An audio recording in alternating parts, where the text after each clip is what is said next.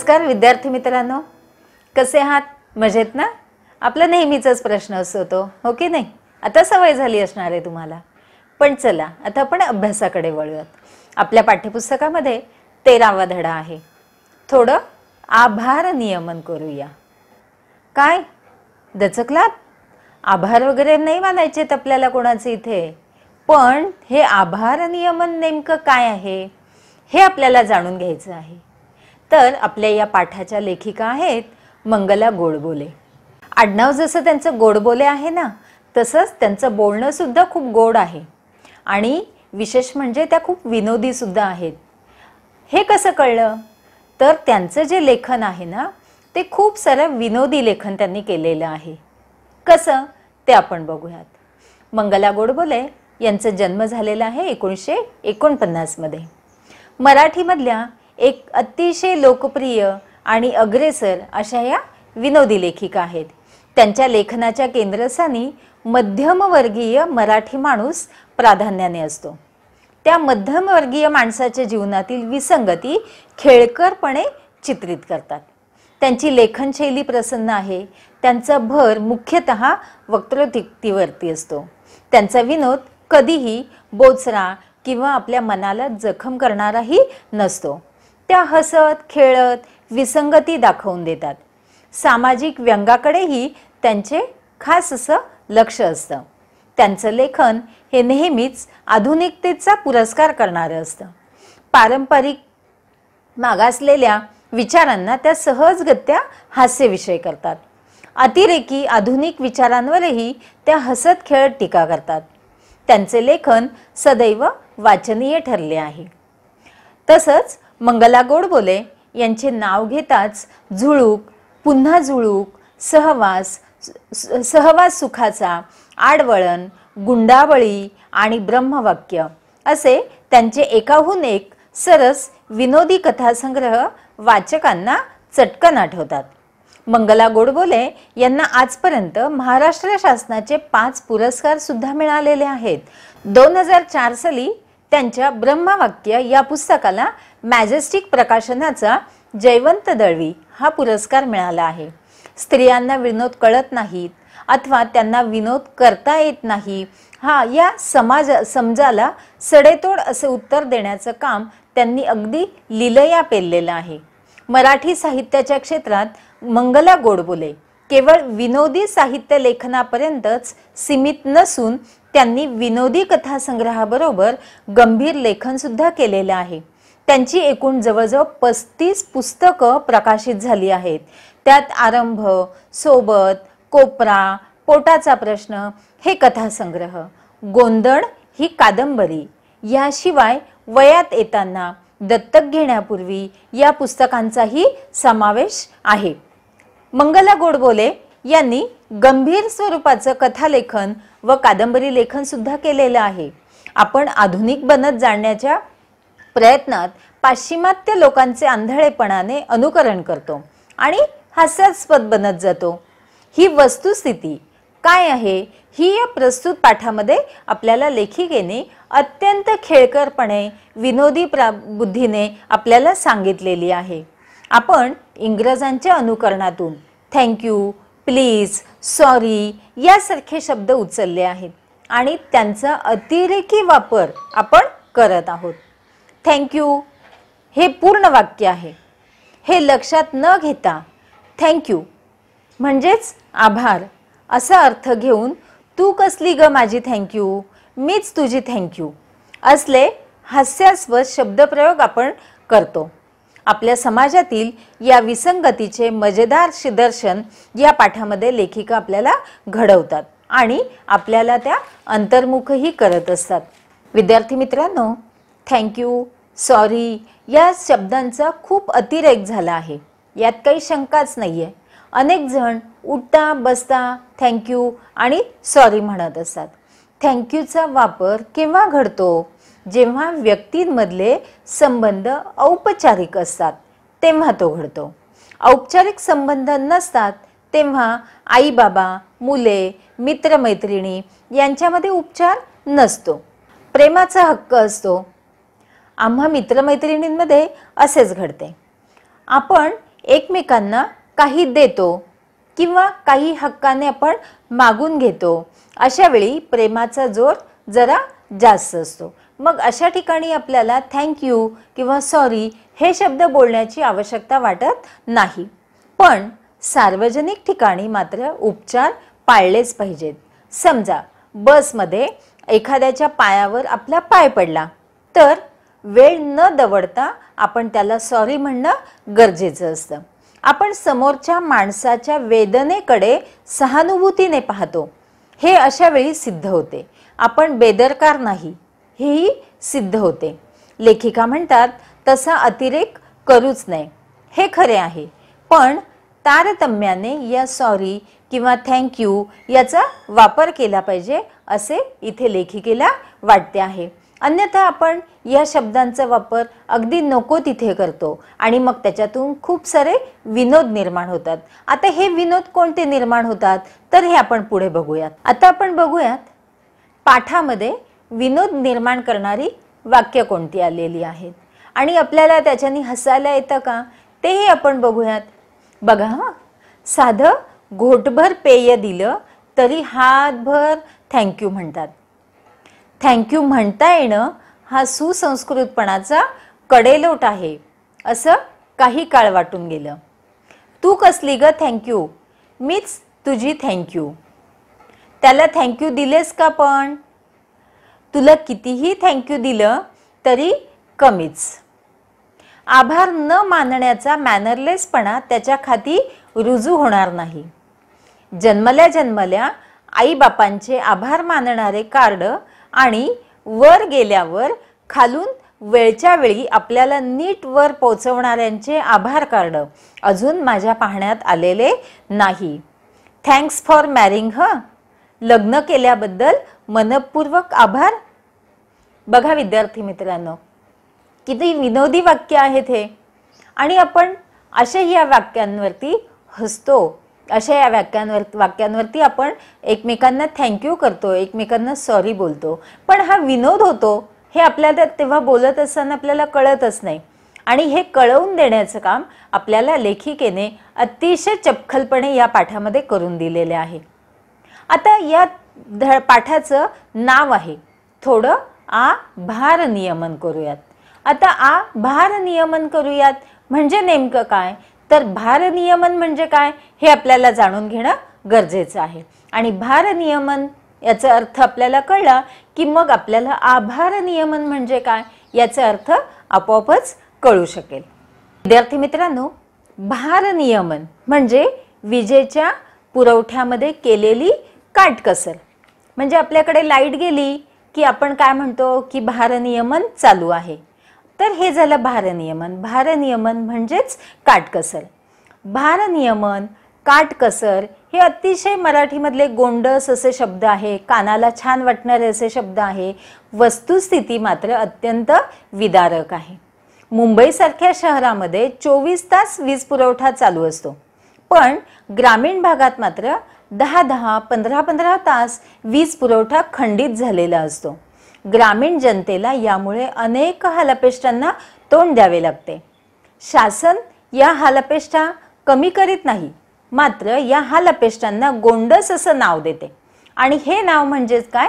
तर भारनियमन आणि भारनियमन म्हणजेच काय? तर विजेमध्ये करावयाची बचत म्हणजेच काटकसर.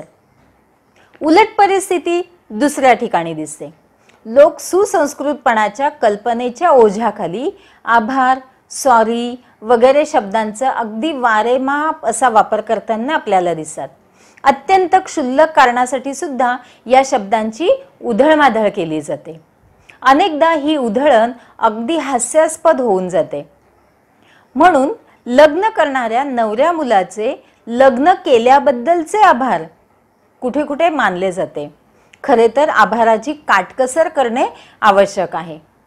आता या ठिकाणी तर खरोखरच आभार मानण्याची गरजच नाही आहे पण अशा वेळेस सुद्धा काही लोक स्टेजवरती गेल्यानंतर त्या वधू आणि वरला आभार देत असतात. ते या ठिकाणी याची गरजच नाहीये आणि मग त्या ठिकाणी तो विनोद निर्माण होतो.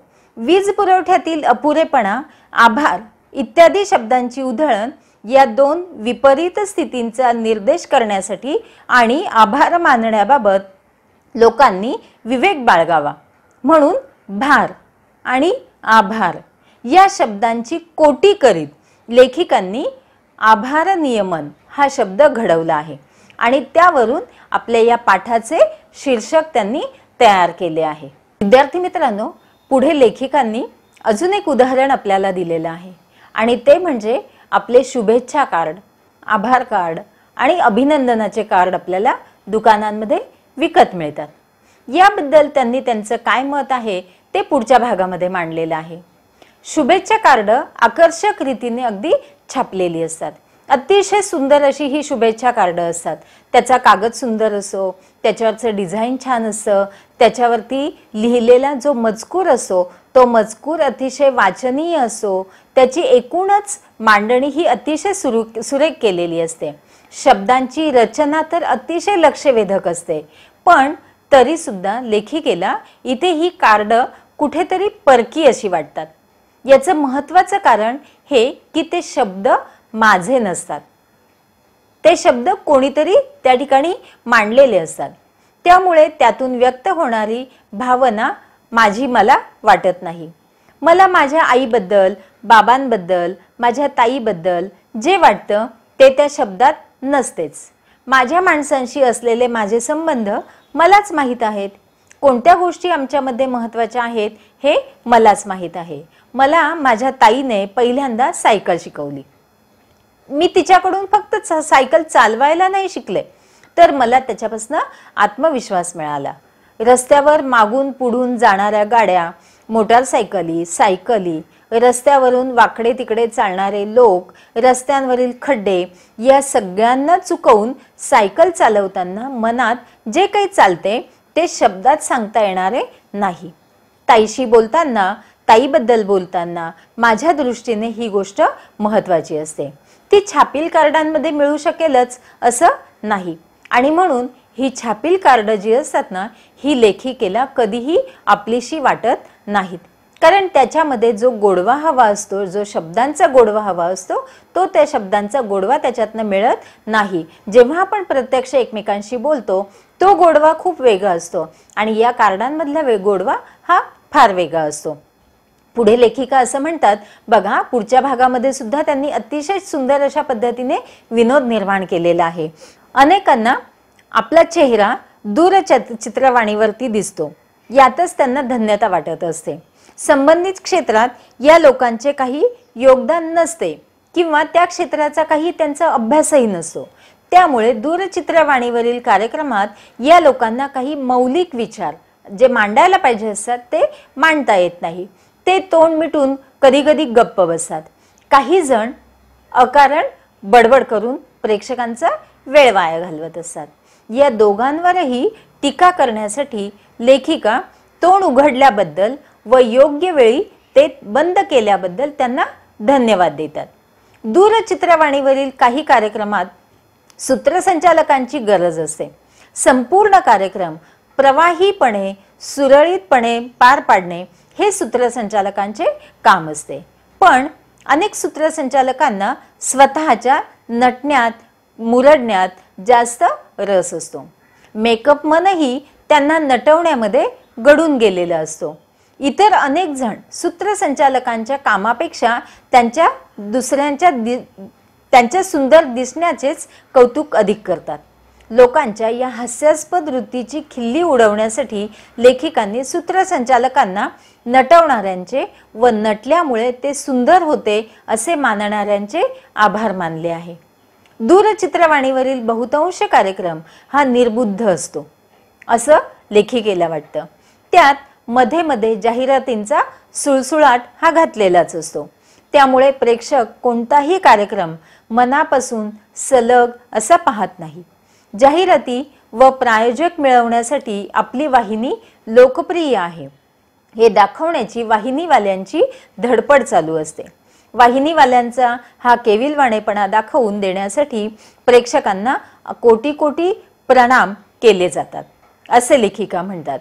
विद्यार्थी मित्रांनो आपण अनेक कामे पार पाडत असतो. ही कामे आपण पूर्णांशाने केलेली नसतात. म्हणजे आपण पूर्ण काही कामं ती केलेली नसतात. त्या कामांना अनेकदा हातभार लागलेला असतो. ते काम पूर्ण करण्यासाठी आपण कोणाची ना कोणाची मदत घेतलेली असते. तरीसुद्धा कामाचे श्रेय आपल्याला मिळून जाते. त्याचे फायदेही आपल्याला मिळतात.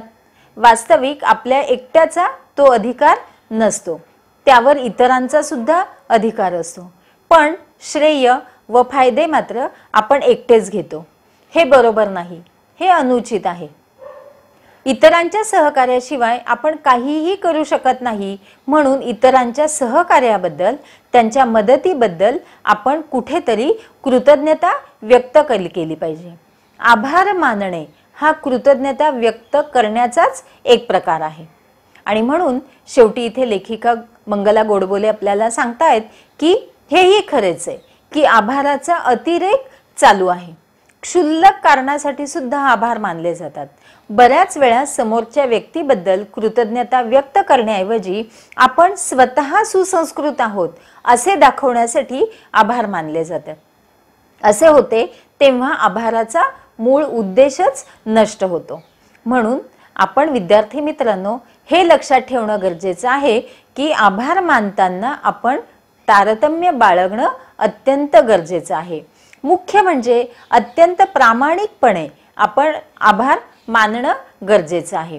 जेव्हा आपण अत्यंत प्रामाणिकपणे एखाद्याचे आभार मानू तेव्हा त्या ठिकाणी कृतज्ञता व्यक्त होणार आहे. असं या ठिकाणी लेखिकांचं मत आहे. आणि आपल्याला सुद्धा या विनोदी लेखिका जरी असल्या विनोदी कथा कादंबऱ्या लिहिणाऱ्या जरी क लेखिका असल्या तरी सुद्धा त्यांचा हा विचारपूर्वक लिहिलेला जो पाठ आहे तो आपल्याला खूप काही शिकवून जात असतो. कधीकधी आपल्याकडून सुद्धा थँक्यू सॉरी प्लीज या शब्दांचा अतिरेक होत असो. तर आपण सुद्धा आता इथून पुढे या शब्दांचा कोणत्याही ठिकाणी अतिरेक होणार नाही याचा नक्की आपण विचार करूयात. आणि पुढच्या वाटचालीमध्ये मंगला गोडबोले आणि त्यांचा थोडं आभार नियमन करूया. हा पाठ आपण विसरणार नाही. भविष्यामध्ये सुद्धा आपण हा पाठ लक्षात ठेवणार आहोत. म्हणजेच विद्यार्थी मित्रांनो एक तुम्हाला इथे सांगायचं आहे की हा पाठ तुम्ही जेव्हा शिकणार आहात तेव्हा तो फक्त मार्क मिळवण्यापुरता शिकू नका. तर तुमच्या भविष्यामध्ये सुद्धा तुम्ही जेव्हा जॉबच्या ठिकाणी जाणार आहात तुम्ही जेव्हा तुमच्या सर्व्हिसच्या ठिकाणी जाणार आहात त्या ठिकाणी सुद्धा तुम्हाला ह्या सगळ्या गोष्टी लक्षात ठेवायच्या आहे. विद्यार्थी मित्रांनो वर करणी म्हणजे वरवर असा गमतीदार मात्र आतून आपल्याला विचार करायला लावणारा असा हा लेख आहे. कोणत्याही गोष्टीचा अतिरेक कशा प्रकारे विनोद निर्माण करतो यावर लेखिकेने या पाठावरती प्रकाश टाकलेला आहे. आणि त्यांचा हा प्रसूत पाठ जो आहे हा त्यांनी त्यांच्या शुभेच्छा हा त्यांचा ललित लेखसंग्रह आहे. या ललित लेखसंग्रहातून आपणास अभ्यासावयास दिलेला आहे. काय मग विद्यार्थी मित्रांनो या गोष्टींचं ल या गोष्टी तुम्ही लक्षात ठेवणार ना? आणि त्या स्वतः अंमलात आणा आणि इतरांना आपल्या जवळचे जे लोक आहेत त्यांच्यापर्यंत सुद्धा ह्या गोष्टी आपण पोहोचवूयात. की आपल्याकडून या गोष्टींचा अतिरेक होणार नाही आणि कुठेतरी या शब्दांची काटकसर आपण करू. पण योग्य ठिकाणी या शब्दांची काटकसर मात्र करायची नाही. आभार नियमन आणि आभार नियमन. या दोन्ही शब्द शब्दांचा अर्थ आपण या ठिकाणी लक्षात घेऊयात आणि त्या पद्धतीने आपण या शब्दांचा वापर करूयात. चला तर मग स्वाध्याय तुम्ही सोडवायचंच आहे. अगदी सोपं आहे आणि तो सोडवताना सुद्धा तुम्हाला आनंद वाटणार आहे. धन्यवाद.